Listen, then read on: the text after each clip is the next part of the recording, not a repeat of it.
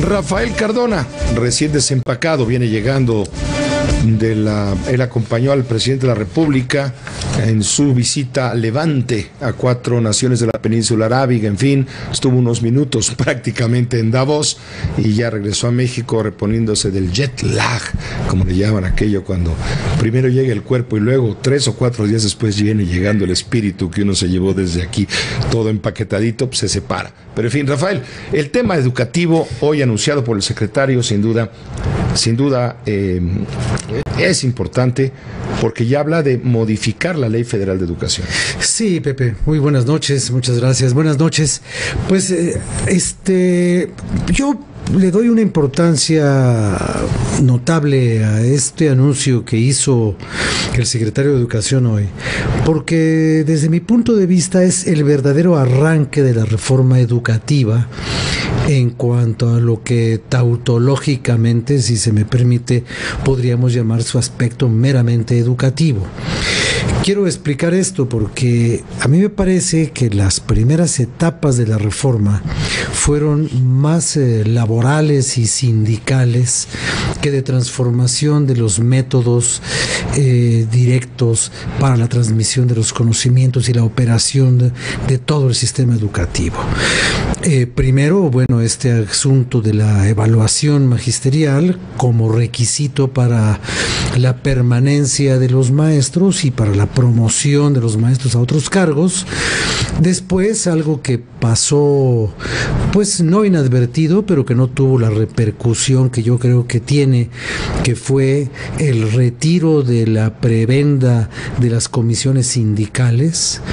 Y una vez terminado ese asunto, eh, cual el gobierno toma la administración total del aparato educativo y de la presencia de los maestros en los escalafones y en las actividades propias de la docencia, ahora viene esta forma de reorganizar calendarios y de reorganizar responsabilidades bajo una idea que a mí me parece sumamente interesante, que es la de aprovechar el calendario no por los días al año únicamente, sino también entendiendo que los días se hacen por la acumulación de las horas, tener algunos lugares con 185 días, pero que se van a convertir en los 200 este, de la, del, de la marca anterior mediante la extensión de los horarios de la permanencia de los estudiantes en la escuela.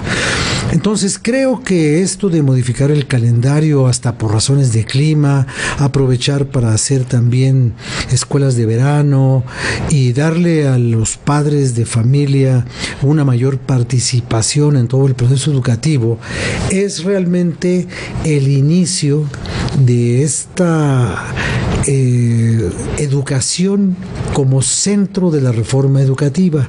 Quizás por eso se le está llamando de esa manera y creo que es un proceso que nos indica que la reforma no tiene pausa y que ya se superaron las etapas anteriores, estas de la resistencia a la evaluación, y que de ahora en adelante todo tendrá que ser para una tecnificación y un mejor aprovechamiento pedagógico de los intereses que tiene la reforma para elevar la calidad educativa en este país.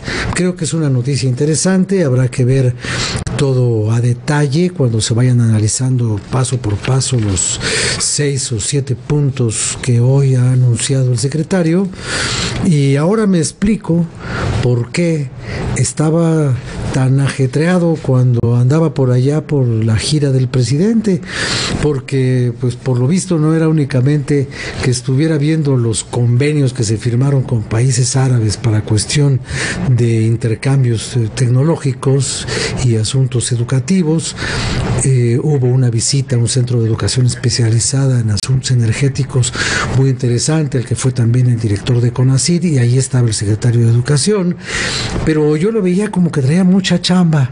Pues a lo mejor estaba preparando desde allá los documentos que hoy dio a conocer desde acá. Pero creo que es algo sobre lo cual habrá que tener mucha atención porque desde mi punto de vista de aquí en adelante se va marcando el verdadero sendero de la educación en la reforma educativa, hecho de lado el asunto laboral y sindical. Muchas gracias, Rafael. Gracias, Pepe. Buenas noches. Gracias, buenas, noches. Vamos a una pausa, regresamos.